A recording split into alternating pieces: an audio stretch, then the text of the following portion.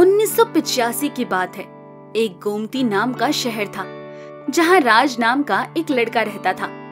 राज के पिता अमरनाथ एक प्रसिद्ध चाय बनाने वाले थे। वो चाय जड़ी बूटियों से बनाते थे, इसलिए उनकी चाय से लाखों लोगों के खराब गले और अन्य तरह की परेशानियों से राहत मिलती थी। राज को पढ़ाने के लिए अमरनाथ ने चाय बेचकर पैसे जोड़े और राज को बाहर विदेश पढ़ने भेज दिया। हेलो राज कैसे हो बेटा? नमस्ते बाबा मैं ठीक हूँ। आप कैसे हैं? मैं भी ठीक हूँ बेटा। इस साल तो आखिरी एग्ज़ाम है। अब तो तू वापस आ जाएगा ना? हाँ बाबा मैं इस साल के आखिरी तक घर आ जाऊँगा। ठीक है बेटा रखता हूँ। तुम अपना एग्ज़ाम अच्छे से देना और मेरा आशीर्वाद हमेशा तुम्हारे साथ है। नमस्ते बाबा। राज साल के आखिरी तक घर लौट आता है। अमरनाथ की तबीयत काफ़ी खराब हो जाती है और वो राज को अपने पास बिठाते हैं और कहते हैं बेटा मेरा सपना है कि तू एक बड़ा आदमी बने और खूब पैसे कमाए। हाँ बाबा मैं वादा करता हूँ कि मैं आपका सपना पूरा करूँगा। हम्म। राज की बात सुनते ही राज के बाबा की मृत्यु हो जाती है। अमरनाथ की मृत्यु को एक साल हो जाता है और फिर देखते ही देखते राज इंटरव्यू देने के लिए जाता है। राज तो बताओ तुम्हारी एजुकेशन कितनी है? सर मैंने फॉरेन से ग्रेजुएशन किया है। ओके राज और बताओ अपने बारे में। सर मैं गोमती का रहने वाला हूँ और मेरे बाबा अमरनाथ आपने सुना होगा गोमती में उनकी बहुत ही प्रसिद्ध चाय मिला करती थी। राज का इंटरव्यू काफ़ी समय तक चलता है और दुर्भाग्यवश उसको सिलेक्ट नहीं किया जाता है। राज कई ऐसे और इंटरव्यू देता है। वहाँ भी उसका सिलेक्शन नहीं होता है। राज मन ही मन दुखी हो जाता है और अपने दोस्त राम को कॉल करता है। हेलो राम। कैसे हो? मैं ठीक हूँ, राज। तुम कैसे हो? बहुत परेशान लग रहे हो? हाँ राम। मैं अपने बाबा का सपना पूरा नहीं कर पा रहा हूँ। जहाँ भी इंटरव्यू देने जाता हूँ, वहाँ मेरा रिजेक्शन ही हो जाता है। समझ ही नहीं आ रहा, बाबा का सपना पूरा कैसे करूँ? राज तू अपने पापा की तरह उसी चाय का स्टॉल फिर से क्यों नहीं लगा देता? हाँ राम, तू बिल्कुल सही कह रहा है। मैं चाय का स्टॉल ही लगाऊँगा और बहुत सारे पैसे कमाकर और फिर अपने बाबा का सपना भी पूरा कर दूँगा। रखता हूँ राम। राज धीरे धीरे करके अपने बाबा की चाय का स्टॉल लगाने के लिए तैयारी करता है और पुलिस चौकी के पास परमिशन लेकर अपना स्टॉल लगा लेता है और स्टॉल का नाम डॉक्टर चाय वाला रखता है। राज के आसपास भी दो स्टॉल रहते हैं। राज के पास एक ग्राहक आता है और कहता है भैया चाय कितने की है? भैया बीस रुपए की एक चाय है। इतनी महँगी चाय? ऐसा क्या है इस चाय में? भैया ये एक हर्बल चाय है जिससे शरीर में बहुत से रोग ठीक हो जाते हैं। राज के स्टॉल का नाम पढ़कर काफ़ी ग्राहक उसकी तरफ़ आते हैं पर चाय का दाम सुनकर और उसकी बात सुनकर हंसने लगते हैं।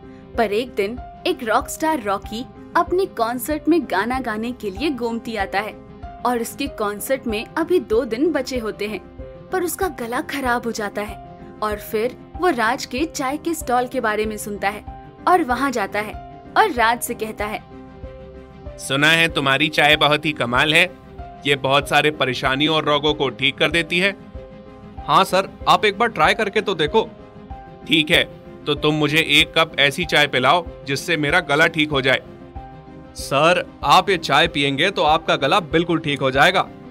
रॉकस्टार रॉकी राज की चाय पीता है और उसका गला बिल्कुल ठीक हो जाता है। रॉकी का जिस दिन कॉन्सर्ट होता है, उस दिन वो अपने फैंस को कहता है कि आज आपको ये जो मेरी आवाज़ और मेरे गाने सुनने का मौका मिल रहा है, इसके लिए मैं एक चाय वाले को धन्यवाद करना चाहता हूँ। क्योंकि उसकी चाय ने ही मेरा गला ठीक किया है और उस चाय वाले का नाम डॉक्टर चाय वाला है। ये कहकर रॉकी अपनी रॉक कॉन्सर्ट खत्म करके चला जाता है।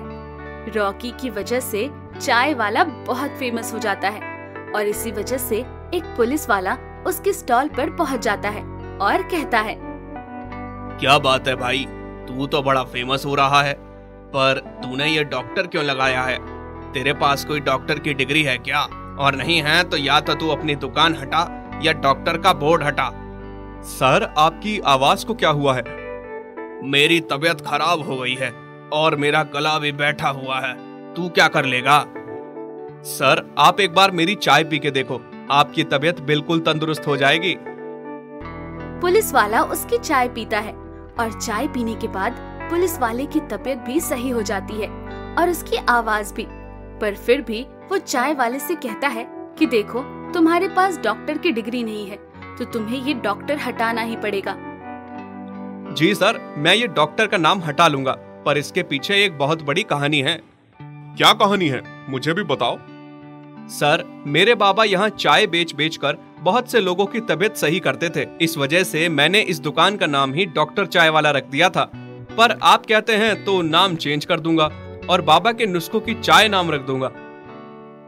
अब उसके पास ग्राहकों की भीड़ लगने लगती है जिसे देखकर आसपास के दुकानदार उससे जलने लगते हैं और उसकी दुकान को तोड़ने का निर्णय कर लेते हैं। इसी दौरान एक दबंग नेता प्रकाश राज का गला बैठ जाता है और उसकी आवाज़ लड़कियों जैसी हो जाती है। क्या करूँ मैं इस आवाज़ का? दो दिन बाद मेरी रैली है। मुझे भाषण देना है। और मैं इस लड़कियों जैसी आवाज़ में बात करूँगा तो भाषण कैसे दूँगा? सर मैं एक चाय वाले को जानता हूँ जिसकी चाय पीकर आपकी आवाज़ बिल्कुल ठीक हो जाएगी और उस चाय वाले का नाम है बाबा के नुस्खों की चाय। अगर तुम इस बात के लिए पक्के हो कि मेरी आवाज़ बिल्कुल ठीक हो जाएगी तो मुझे बताओ मैं जाकर अभी उसकी चाय पीता हूँ। जी सर मैं बिल्कुल पक्का हूँ और मैं ले चलता हूँ आपको उस चाय वाले के पास। और आप उसकी चाय पी के देखना आपकी आवाज़ बिल्कुल ठीक हो जाएगी। हम्म। प्रकाश राज चाय वाले के पास पहुँचते हैं और उसको देखते हैं और तुरंत पहचान लेते हैं और कहते हैं अरे तुम तो वही लड़के हो जो मेरे पास इंटरव्यू के लिए आए थे। जी हाँ मैं वही हूँ। बताइए मैं आपकी कैसे सहायता कर सकता हूँ? मेरी आवाज़ तुम सुन ही सकते हो। कैसी हो गई है? और मुझे दो दिन बाद भाषण देना है। क्या इसका कोई उपाय है तुम्हारे पास? जी हाँ मैं अभी आपको एक ऐसी चाय पिलाता हूँ कि कुछ ही पल में आपकी आवाज़ पहले जैसी हो जाएगी। हम्म। राज प्रकाश राज को एक स्पेशल चाय बनाकर देता है। प्रकाश राज वो चाय पी ही रहा होता है तभी वहाँ पर राज की दुकान तोड़ने वाले लोग आ जाते हैं। राज उनको देखकर घबरा जाता है तभी प्रकाश राज चिल्ला कर कहता है ए, कोई इस दुकान को हाथ नहीं लगाएगा। जिसने भी इस दुकान को हाथ लगाया, उसका पूरा समय शुरू। प्रकाश राज, अपनी आवाज़ सुनने के बाद इतने खुश हो जाते हैं कि वो राज से कहते हैं कि आज से ये दुकान कोई भी यहाँ से हटा नहीं सकेगा और मैं तुम्हें पैसे दूँगा ताकि तुम एक अपनी बहुत बड़ी खुद की दुकान खोल सको, जिसका उद्घाटन करने मैं खुद आऊँगा।